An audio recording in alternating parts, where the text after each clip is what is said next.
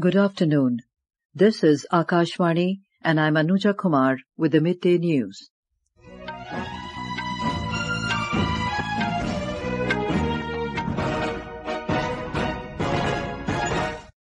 The headlines. Maldives President Dr. Mohamed Muizzu to arrive in New Delhi this afternoon on a five-day visit. External Affairs Minister Dr. S. Jaishankar to call on the visiting dignitary today.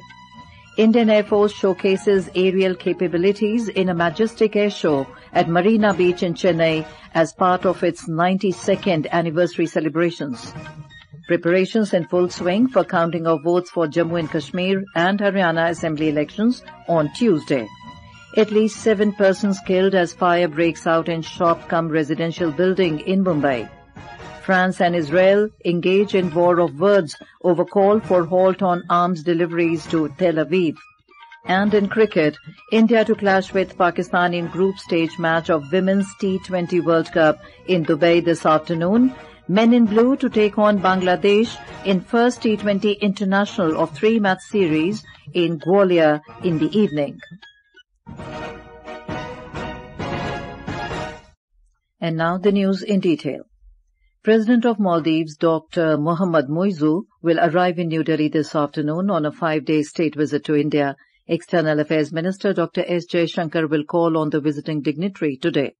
President Moizu will be accorded a ceremonial reception at the Rashtrapati Bhavan tomorrow morning. He will also hold talks with Prime Minister Narendra Modi on bilateral, regional and international issues of mutual interest. Several agreements are expected to be signed following the meeting. The Maldives President will meet President Draupadi Murmu tomorrow evening. During his visit, Dr. Muizzu will also visit Agra, Bengaluru and Mumbai. More from our correspondent. Maldives is India's key maritime neighbor in the Indian Ocean region and holds a special place in Prime Minister's vision of Sagar and India's neighborhood first policy. The visit of the Maldivian president to India after the recent visit of the External Affairs Minister to the island nation is testimony to the importance that India attaches to its relations with Maldives. The visit is expected to lend further momentum to cooperation and robust people-to-people ties between the two countries. Suparna Saikya, Akashvani News, Delhi. The Indian Air Force IAF conducted a mega air show on the Marina Beach in Chennai today. The scintillating air show is being held as part of the 92nd anniversary of the IAF observed on 8th of October. More from our correspondent.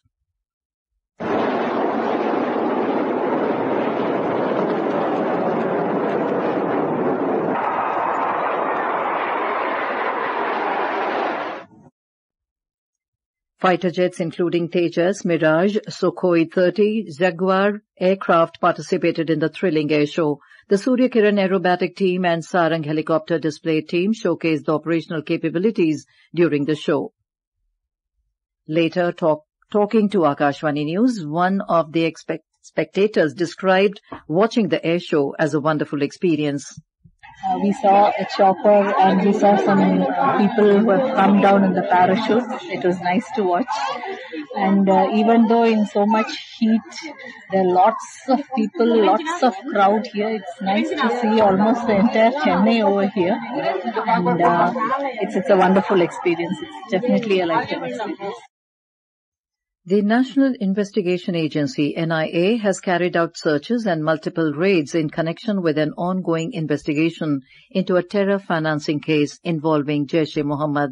The raids were conducted yesterday across five states and union territories, including Jammu and Kashmir, Maharashtra, Uttar Pradesh, Assam and Delhi, covering 26 locations. During the searches, NIA team seized several incriminating documents, electronic devices, pamphlets and magazines. The suspects were engaged in radicalizing individuals and recruiting them into the Jamaat outfit inspired by Jaish-e-Mohammed.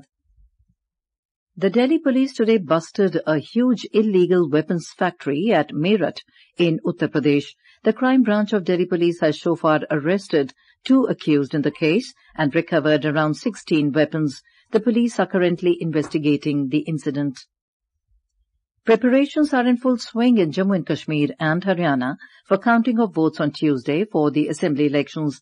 Robust security arrangements are being put in place at all counting centres across Haryana and Jammu and Kashmir for a smooth conduct of counting. In Haryana, a voter turnout of around 67% has been recorded in the assembly polls. Single-phase polling for all 90 constituencies in the state was held yesterday. After peaceful conclusion of voting process, now electronic voting machines have been kept under three-layer security in strong rooms at different districts. Our correspondent has the details. In Haryana, electronic voting machines were kept in strong rooms amid tight security. According to Chief Electoral Officer Pankaj Agarwal, the EVMs have been kept in three-layer security. Paramilitary forces have also been deployed along with Haryana police for security of electronic voting machines. Strong rooms are also being monitored through CCTV cameras. Now the EVM machines will be taken out from the strong room on the day of counting. Ashwini Kumar Sharma, Akashvani News, Chandigarh. In Jammu and Kashmir, voting took place in three phases on 18th and 25th of September and 1st of this month. The overall voter turnout across all three phases was recorded at 63.88%. To ensure a hassle-free experience on the counting day, essential infrastructure and safety measures have been put in place. The assembly election was significant for the Union Territory as it was the first since the abrogation of Article 370. This is Akashvani giving you the news. For quick news updates round the clock, follow us on our X handle at AIR News Alerts. In Maharashtra, at least seven members of a family, including three minors, were killed after a fire broke out at a single-story shop-cum residential structure in Chembur area of Mumbai. The mishap occurred early this morning when a shop at the ground floor of the building caught fire due to faulty electrical wiring and later spread to other parts of the building. Talking to reporters, Deputy Commissioner of Police of Zone 6 in the city, Hemraj Singh Rajput said they are investigating the exact cause of the fire. सुबह छह बजे एक call मिला जिसमें एक shop था और ऊपर दो मंजिला में उसी फैमिली के लोग रहते थे। तो इसमें सात लोग झुलसे और उनकी डेथ हुई है और दो लोग जो शॉप में सोए थे, वो बाहर निकले हैं। जो फायर हुआ है, उसके जो रीजन है, उसके बारे में हम फॉरेंसिक टीम और फायर ब्रिगेड की टेक्निकल टीम है, उनसे हम इन्वेस्टिगेट करवा के एग्जैक्ट रीजन का पता करवाएँगे। 60 students from the Puranmal Lahoti Government Polytechnic at Latur in Maharashtra were admitted to a hospital due to food poisoning following dinner at their hostel last evening. The police have launched an investigation and food samples have been sent to the laboratory for testing. Following the incident, Member of Parliament Dr. Shivaji Kalge and District Collector Varsha Thakur visited the hospital and inquired about the condition of the students. As tensions escalate in West Asia, French President Emmanuel Macron yesterday called for a halt on its arms deliveries to Israel for use in Gaza, provoking a sharp response from Israeli Prime Minister Benjamin Netanyahu. President Macron also criticized Prime Minister Netanyahu's decision to send troops for ground operations into Lebanon. On the other hand, the Israeli Prime Minister in a video message slammed the French president, saying all civilized countries should be standing firmly by Israel's fight against the forces of barbarism led by Iran. As Israel fights the forces of barbarism led by Iran, all civilized countries should be standing firmly by Israel's side. Yet President Macron and some other Western leaders are now calling for an arms embargo against Israel. Israel will win with or without their support. Israel is defending civilizations against those who seek to impose a dark age of fanaticism on all of us. Rest assured, Israel will fight until the battle is won, for our sake and for the sake of the peace and security of the entire world. Meanwhile, the Israeli forces bombed a mosque in Deir al-Balah in Gaza, killing at least 21 Palestinians and wounding dozens others. More from our correspondent. The ongoing West Asia conflict. Violence has escalated on multiple fronts. Beirut's southern suburbs endured heavy consecutive strikes from late Saturday into Sunday. Meanwhile, Gaza's civil defense agency reported a devastating Israeli airstrike on a mosque in central Gaza, resulting in 21 deaths and dozens of injuries. However, the Israeli military claims it was serving as a Hamas control center. The attack comes as the war between Israel and Hamas in the Palestinian territory near its first anniversary on October 7th. In northern Gaza, the Israeli military announced on Sunday that its troops have successfully surrounded the Jabalia region. This operation was reportedly in response to intelligence suggesting Hamas was attempting to rebuild its operational capabilities in the area, despite nearly a year of ongoing strikes and fighting. This is Vinod Kumar for Akashvani News from Dubai. Israel also expanded its strike in Lebanon yesterday. It bombarded deep into the north part of the country for the first time, targeting both armed groups, Hezbollah and Hamas. Israeli military spokesperson said 440 Hezbollah fighters were killed in its ground operations in southern Lebanon and it destroyed 2,000 Hezbollah targets. Thousands of people in Lebanon continued to flee amid widening conflict in the region. Meanwhile, rallies were held around the world yesterday, marking the approaching first anniversary of the start of the war in the West Asia region following the terror attack in Israel by the Palestinian group Hamas. World Cerebral Palsy Day is being observed today to raise awareness about the condition and promote inclusivity. The day aims to challenge stereotypes and work towards creating an inclusive society where individuals with cerebral palsy are respected for their identities and talents.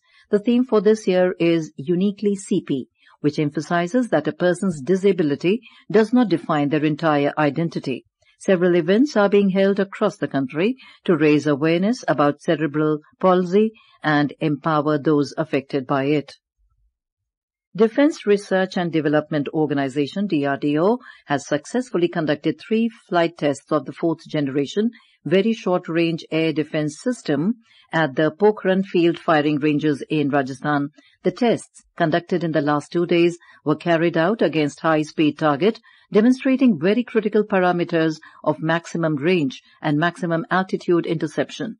Ministry of Defense said that these development trials showcased repeatability of hit-to-kill capability of the weapon system in various target engagement scenarios covering approaching, receding, and crossing modes. Very Short-Range Air Defense System is a man-portable air defense system designed and developed indigenously by Research Center Imarat in collaboration with other DRDO laboratories. Defense Minister Rajnath Singh has congratulated DRDO, armed forces and the industry involved in the successful development trials. He said this new missile equipped with modern technologies will give further technological boost to the armed forces against aerial threats. On to sports. In the Women's T20 Cricket World Cup, India will lock on with arch rival Pakistan in Dubai today. The match will start at 3.30 p.m. Indian Standard Time.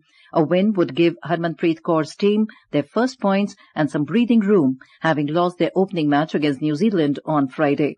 On the other hand, the men in blue will take on Bangladesh in the first T20 international of the three-match series in Gwalior today.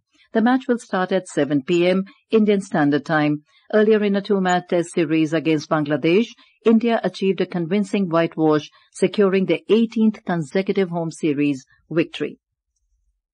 Hockey India today announced the 18-member junior men's team set to participate in the 12th edition of the Sultan of Johor Cup in Malaysia. Newly appointed head coach P.R. Sreejesh will take charge of the team in Malaysia with Amir Ali serving as captain and Rohit named as his deputy. India will begin their campaign against Japan on the 19th of this month, followed by a clash with Great Britain on the 20th. After a day's rest, India will face hosts Malaysia on the 22nd, followed by a match with Australia on 23rd. The final will be played on the 26th of this month. The IMD, India Meteorological Department, has forecast light to moderate rainfall over northeast and south peninsular India today. The IMD said Arunachal Pradesh, Assam, Meghalaya, Tamil Nadu, Puducherry, Karaikal, Kerala, Mahe, Rayalaseema, and coastal and south interior Karnataka are very likely to witness isolated heavy rainfall in the next two to three days. And now, before we end the bulletin, the headlines once again. Maldives President Dr. Mohamed Muizzu to arrive in New Delhi this afternoon on a five-day visit. External Affairs Minister Dr. S. Jaishankar to call on the visiting dignitary today. Indian Air Force showcases aerial capabilities in a majestic air show at Marina Beach in Chennai as part of its 92nd anniversary celebrations. Preparations in full swing for counting of votes for Jammu and Kashmir and Haryana Assembly elections on Tuesday. At least seven persons killed as fire breaks out in shop cum residential building in Mumbai. France and Israel engage in war of words over call for halt on arms deliveries to Tel Aviv. And in cricket, India to clash with Pakistan in group stage match of Women's T20 World Cup in Dubai this afternoon. And with that, we end the midday news.